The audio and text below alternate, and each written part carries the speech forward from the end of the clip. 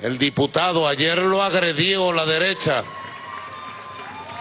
Al diputado Víctor Clark que se presentó sorpresivamente en la reunión ilegal de la Asamblea Nacional en desacato, se presentó Víctor Clark y lo agredieron, lo insultaron.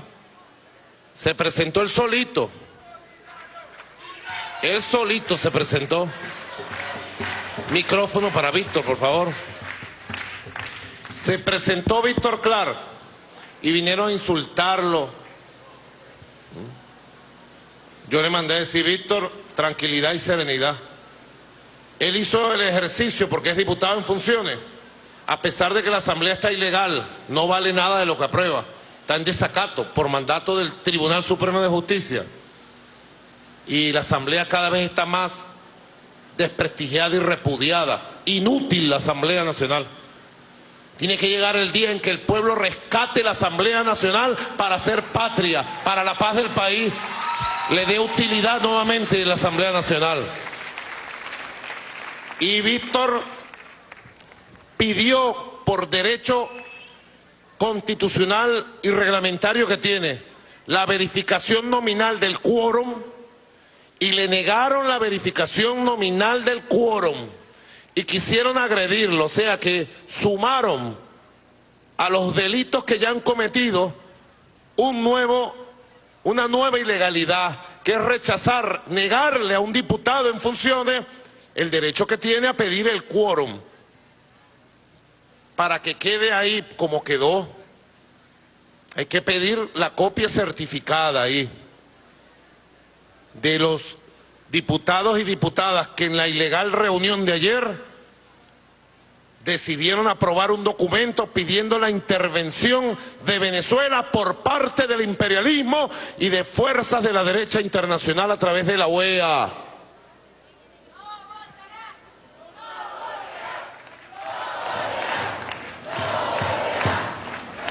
Yo le pido a toda nuestra patria, los problemas de los venezolanos y las venezolanas solo debemos atenderlo y resolverlo nosotros mismos, nosotros los venezolanos, las venezolanas.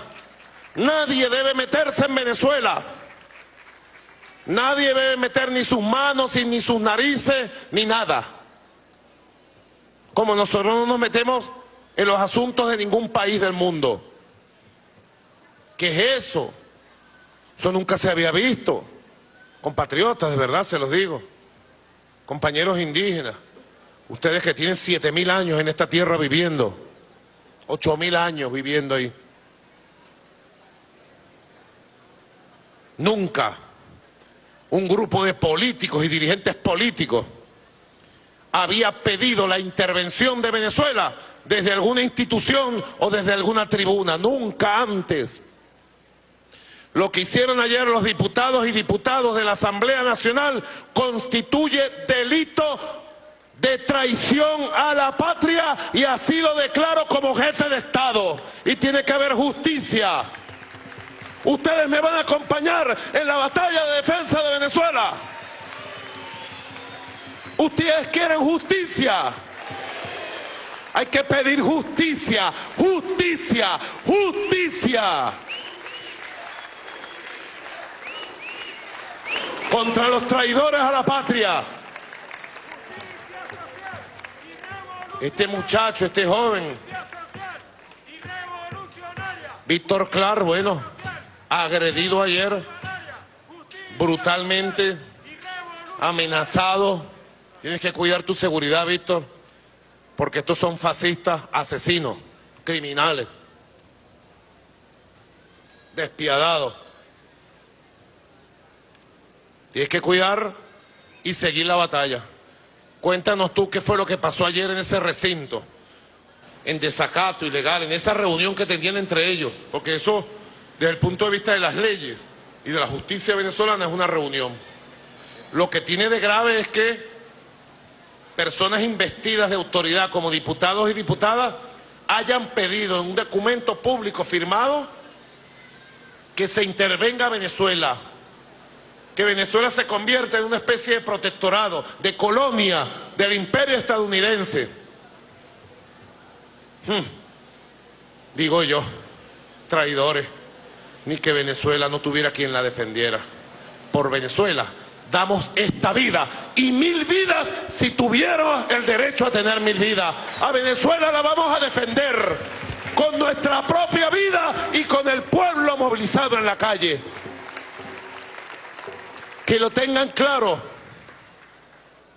Rompieron las reglas de juego mínimo la oposición venezolana. Que lo tengan claro. Que después no salgan a lloriquear.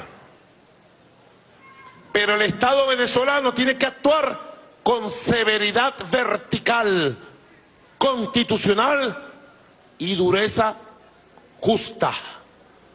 No podemos permitir que nadie, yo ayer puse un ejemplo, ¿qué pasaría si en Estados Unidos un grupo de congresistas pidiera que Estados Unidos fueran intervenidos por Rusia o por China o por una coalición de países donde esté Rusia, China, Venezuela, Irán, por ejemplo. ¿Qué harían con esos diputados, esos congresistas, esos senadores? ¿Le aplicarían la silla eléctrica o miento? Irían presos inmediatamente. ¿Es así? Porque el imperio norteamericano no permitiría jamás, ni ningún país, que vengan sus propios diputados o senadores a pedir una agresión, una agresión. Tenemos que repudiarlo. Yo llamo a la conciencia nacional, llamo a la conciencia de todos. Esto no es un problema del chavismo, de los bolivarianos, no. Esto es un asunto de carácter nacional y yo llamo a la Unión Nacional, a la Unión Cívico-Militar para defender el honor, la paz y la soberanía de nuestra amada Venezuela. Unión Cívico-Militar para enfrentar esta agresión que se pretende desde la Asamblea Nacional y desde la OEA. Víctor Clark, cuéntanos cómo fue la agresión, qué fue lo que pasó, ¿vale? Sí, bueno, presidente, primero saludar al pueblo de Venezuela y a todo este movimiento ecosocialista, humanista, bolivariano, venezonalista. Y si algo somos nosotros, presidente, es decidido a defender la verdad, a defender la justicia y la dignidad de un pueblo que no solamente está establecido en la Constitución como un principio constitucional, cuando dice en su artículo 5 que la soberanía reside intransferiblemente en el pueblo. Ayer uno solo de nosotros, y en esto yo quiero también reiterar un principio de vida, que sé que no solamente en lo particular que me tocó a mí el día de ayer, sino a los compañeros y compañeras que tenemos esa tarea del bloque de la patria, pero que sobre todo somos los millones los millones de venezolanos y venezolanas que estamos decididos a seguir defendiendo la soberanía, la paz, la independencia, la autodeterminación y el día de ayer fuimos a esa sesión que ya sabemos de por sí que está en una situación de un parlamento en desacato, de un parlamento en insurrección, en un parlamento que decidió el camino del golpismo. Pero ayer nosotros veíamos, presidente, cómo se consumaba un acto de traición a la patria y así fuimos a dejar constancia. Era la cometer delitos constitucionales, ilícitos constitucionales. No estamos, presidente, frente a delitos ordinarios. Yo quiero que el pueblo de Venezuela tenga muy claro esta reflexión, el cual aprovecho el día de hoy. Ya el pueblo de Venezuela sabe que el 2016 ese parlamento apostó por abandonar el camino democrático, constitucional, legal, legítimo, en ejercicio de la facultad de ese poder legislativo. Pero lo que el día de ayer pretendió hacer ese Parlamento es convocar a la intervención directa en los asuntos internos, en la democracia, en la soberanía que solo tenemos y vamos a seguir teniendo derechos legítimos los venezolanas y venezolanas. A resolver nuestros conflictos, sí, pero los venezolanos y los venezolanas. Y el día de ayer se volvieron locos, el fascismo se apoderó de ellos, solo uno de nosotros fue a fijar posición a dejar constancia de que de ese hecho se constituía en un delito constitucional, que estaban usurpando funciones que no le correspondía, convocando desde el escenario del Parlamento la intervención y la violación a los principios fundamentales. Tan es así, Correcto. presidente, que un diputado de ellos se atrevió a decir, poniendo nuestra constitución soberanísima de la República Bolivariana de Venezuela, queriendo malinterpretar y manipular, diciendo que la Carta Democrática estaba por encima de la constitución. ¿Qué bolas tiene ese bicho? Y así le puso, Ajá. encima de la constitución se atrevió. Y desde aquí aprovecho, presidente, en nombre de este pueblo, que no solamente es, es ecosocialista, sino que es profundamente bolivariano, es profundamente democrático en repudiar esas acciones bajas que le dan la espalda a un pueblo que hace más de 15 años construyó una nueva constitución, la única creada en un proceso constituyente. Y ese señor se atrevió ayer a ponerle la Carta Democrática como camisa de fuerza y manipulando además que lo que le queda ahora a Venezuela es prepararse para una intervención. Nosotros no nos amilanó, ni nos asustó, ni nos va a asustar, ni gritos, ni insultos, ni atropellos, ni intimidaciones, porque al final este pueblo es el que está decidido en la calle, presidente, a no rendirse con usted. Este pueblo que es ecosocialista también es antiimperialista. Así porque es. decir hoy ecosocialismo es frenar la locura genocida, de guerra, de intervenciones, de violencia. Si ese es el recurso que le queda a ellos, nosotros vamos a ganar la paz. Como decía Mario Benedetti, así sea ponchazo, pero este pueblo va a seguir en la calle. Esta voz no la va a callar nadie. Es la voz decidida, no solamente de diputados y diputadas del bloque de la patria, no solamente de los socialistas que estamos aquí, sino de la gran mayoría del pueblo de Venezuela, que dijo y va a seguir decidiendo vivir en paz, en democracia, pero siendo libre, siendo soberanos, independientes. Que viva el pueblo de Venezuela. ¡Viva! Y por eso, presidente, y con esto concluyo, el día de hoy informarle, como diputado del bloque de la patria, donde el día, hora de la mañana, con nuestro compañero diputado jefe del bloque de la patria, Héctor Rodríguez, nosotros fuimos al Tribunal Supremo de Justicia a ejercer lo que nos corresponde, como diputados y diputadas, pero sobre todo por la soberanía, por la defensa integral de nuestra República Bolivariana de Venezuela, denunciar formalmente la comisión de delitos constitucionales que ciertamente se constituyen en actos de traición a la patria. Y nosotros exigimos la actuación firme del Estado venezolano, de sus órganos de justicia, en pro de sostener y de preservar la soberanía y la autodeterminación del pueblo de Venezuela. Muchas gracias, compañero presidente, por el espacio y aquí seguiremos. Un Nada de eso nos asusta. A este joven y valiente diputado de la patria, falconiano, Víctor Clar. La patria tiene quien la defienda. La patria venezolana. Y si quieren pelea, el pueblo les va a dar pelea.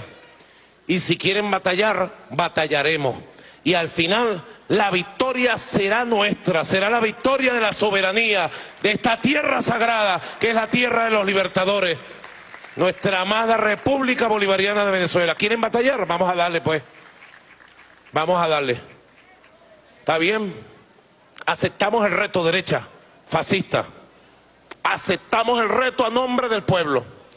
Vamos a la batalla por la dignidad, el derecho a la paz, la soberanía y la sagrada vida de Venezuela. ¿Está bien? ¿Está bien? ¿Estamos listos, pues? Vamos a ver hasta dónde aguantan ustedes, cobardes miserables. Son unos cobardes y miserables.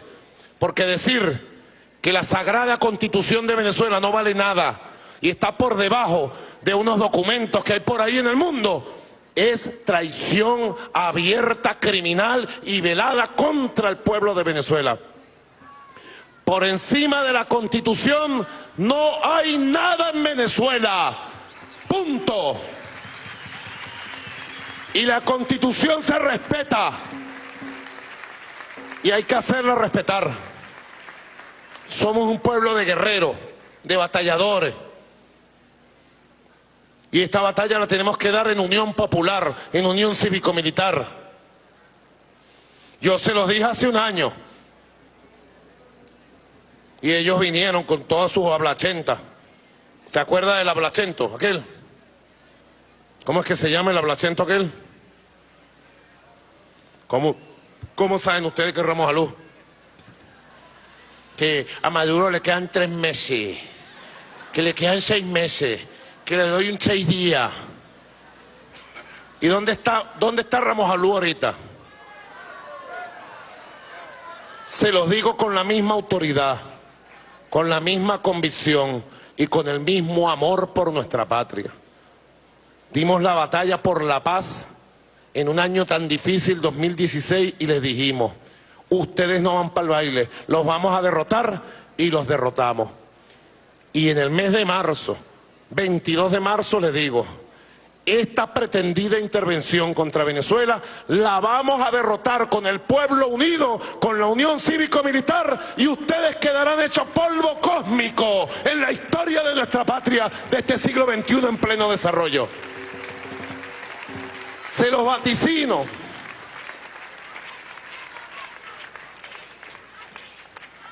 No es que yo sea brujo, ni sea piache o adivinador, aunque tengo mi capa, ¿no? Pero aquí hay un solo destino para Venezuela. El triunfo, la independencia, la dignidad, el honor nuestro, el decoro. Es mucha la historia que defendemos, mucho, mucho, muy grande la historia.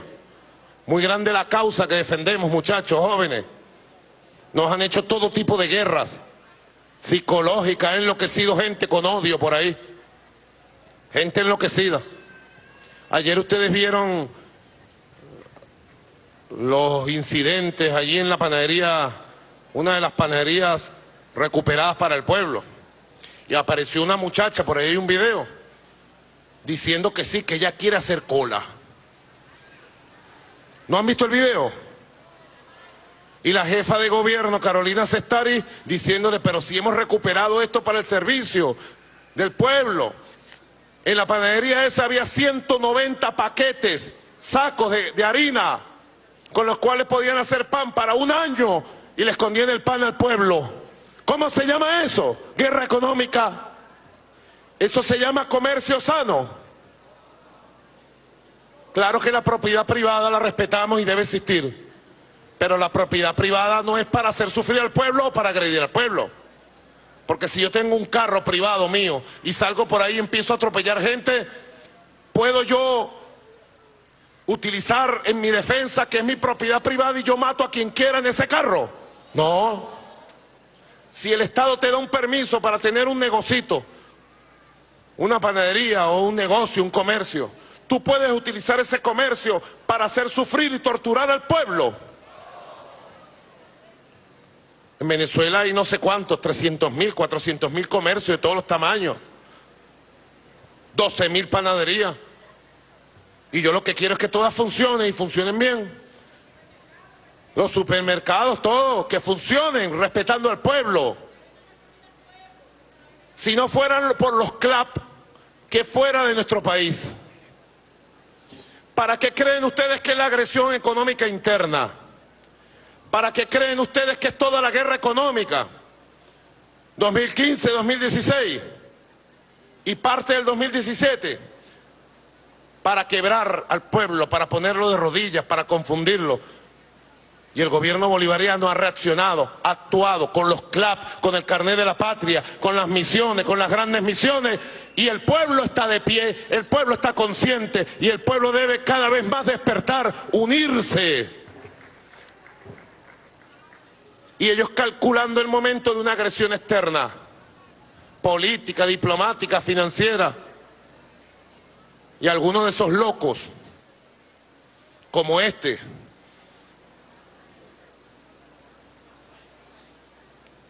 que desconoce la Constitución, gravemente. Yo vi mucha gente así hace años. ¿Cuántos hemos visto?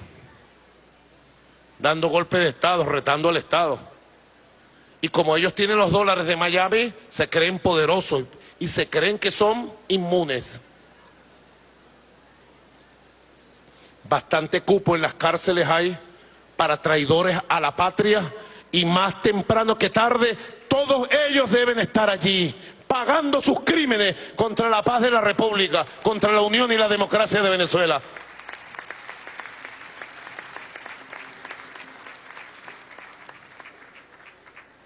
Por eso lo digo, sobre todo a la juventud, a las mujeres, la batalla, la batalla que hemos dado y la batalla que estamos dando es por el derecho a existir nosotros como república, como país, porque los poderes del mundo quieren venir a qué? A ponerle las manos a la riqueza de nuestra patria.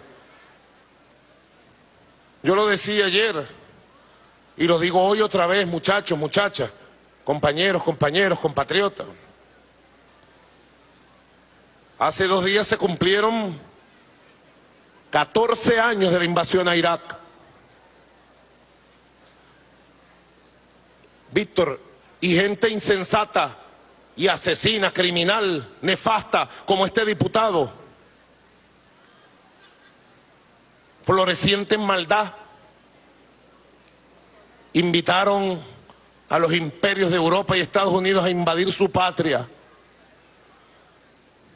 ¿Cuál fue el resultado? Irak hoy está mejor. Irak está próspera, en paz. Irak está unida. El resultado, un millón de muertos, tres millones de refugiados, el surgimiento de grupos terroristas en Irak y de Irak para el mundo, la división de Irak en cinco pedazos. Y el robo del petróleo iraquí como recurso natural, se lo robaron.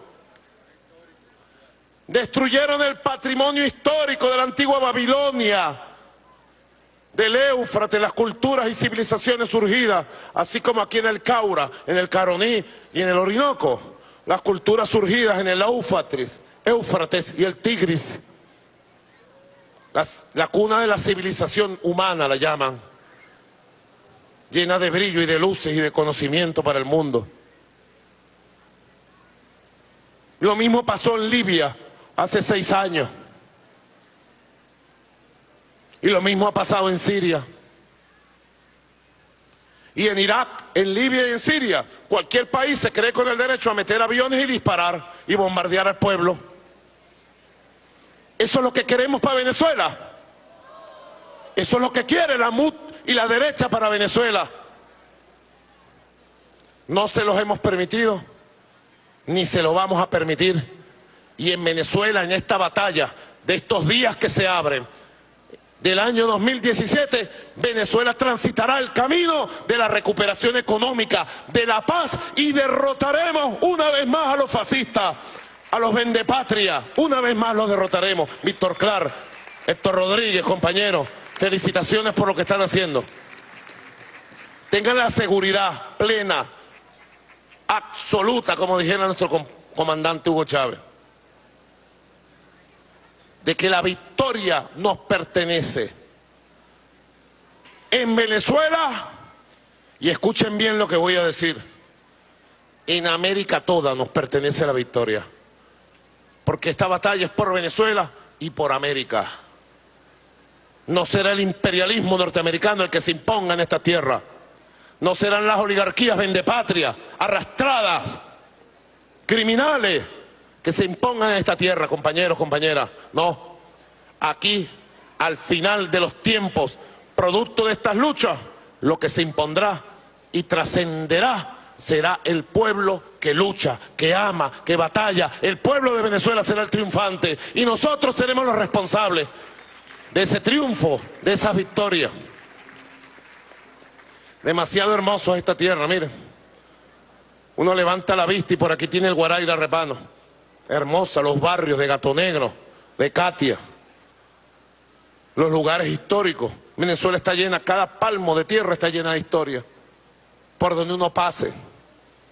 Hay que denunciar Héctor Rodríguez, Víctor Clar, compañeros con nombre y apellido, con pruebas en la mano, ante los medios de comunicación, a estos peleles del imperialismo que desde la Asamblea Nacional en desacato ilegal están en campaña y aprobando documentos para llamar a la intervención de Venezuela. Hay que denunciarlos con fotos nombre y apellido, pruebas, videos.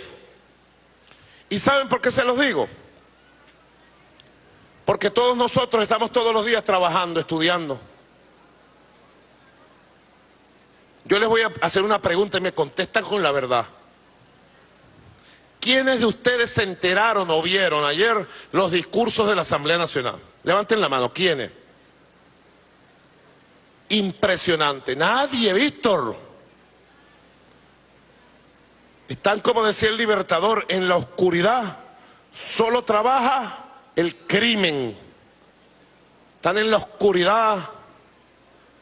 Pero ellos ponen esos videos y esos documentos y se lo mandan a la basura del secretario general de la OEA. Se lo mandan a CNN, se lo mandan a todo el mundo. Y el pueblo venezolano está desinformado de los actos de traición a la patria que se están cometiendo en recinto de la Asamblea Nacional a nombre de la Constitución y la legalidad. No se dan cuenta que eso es peligroso, que no sepamos que se conspira. Mucho billete se está moviendo, mucho billete, para comprar traidores. Por eso ayer lo dije, pongámonos de pie. Siempre yo lo digo de la siguiente manera. Con las dos manos, con los dos brazos, con toda la fuerza del cuerpo y del espíritu. Con una mano, siempre lo digo, defendamos nuestra patria de traidores, de corruptos, de oligarcas, de burócratas. La mano de la defensa, de la batalla es como la espada de San Miguel Arcángel, que se levanta por encima de los demonios para someterlos. Y con la otra mano, todos los días, construyamos el camino del presente y construyamos el camino del futuro de Venezuela. El Congreso de la Patria tiene esas dos virtudes. Una gran virtud estar construyendo lo nuevo, el futuro, los planes para defender la Pachamama. Y el Congreso de la Patria, como todos los capítulos del Congreso de la Patria, también debe estar mosca, alerta, pendiente y despierto para defender la dignidad y la soberanía de Venezuela, que en este preciso momento está siendo amenazada y pretenden vulnerarla pendientes y vistas. Mosca todo el mundo, pues, a defender la paz de Venezuela y a repudiar a los vendepatrias, estén donde estén. Víctor Clar, Héctor Rodríguez. Les doy esa tarea a ustedes. A Ernesto Villegas, ¿dónde está Ernesto? Ernesto Villegas Polja, un aplauso a Ernesto Villegas Polja.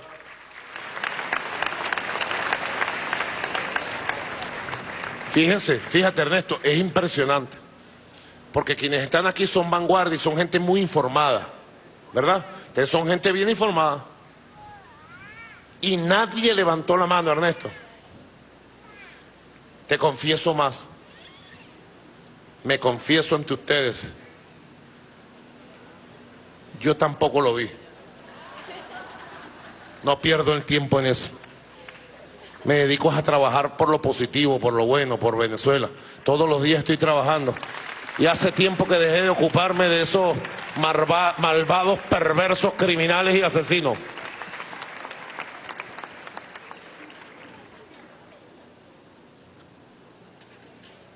Uno bota la basura una vez al día, por lo menos, ¿verdad? Pero el resto del día se dedica a hacer sus cosas. Yo ni siquiera ayer boté la basura. En la noche por allí fue que me medio enteré por informes que le mandan a uno y uno lee, por internet que corren los videos, y hoy porque tú explicaste lo que explicaste, y me, ¿cómo se dice? Me hirvió la sangre. Yo tengo un pase para Anzuate para inaugurar una planta potabilizadora, pero tú me hiciste hervir la sangre. Tú eres un rolo de casquillero. Me trajiste un casquillo bueno, gracias, te doy las gracias, pues. Eres bueno para el caquillo. Me trajiste, me hirvió la sangre, ¿vale? desde mi vida, sí, desde mi sangre, que nadie diga que la constitución de Venezuela no vale nada, que está por abajo de los intentos de intervenir y que hay que acabar con la constitución. No lo podemos aceptar, ¿vale? Me hierve la sangre. Por eso ustedes se encargan de explicarle al país en los días que están corriendo y levantar un expediente político, comunicacional, el expediente por la verdad, para que el pueblo venezolano esté enterado de cuál es la conspiración en marcha.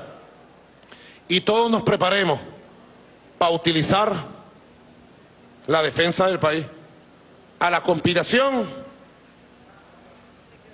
por el mentón, ya sabe, que nadie baje la guardia, que nadie se confíe, alertas y pendientes. Si bien es cierto que los enemigos de la patria están en su peor momento, tienen un 80% de repudio del país, no los quiere ni su mamá, se ponen más peligrosos cada vez. Que nadie se confíe, compañeros, compañeras. Levantemos la guardia para que sigamos transitando un año 2017 de recuperación, de expansión y de trabajo constructivo desde el gobierno bolivariano y desde el Congreso de la Patria.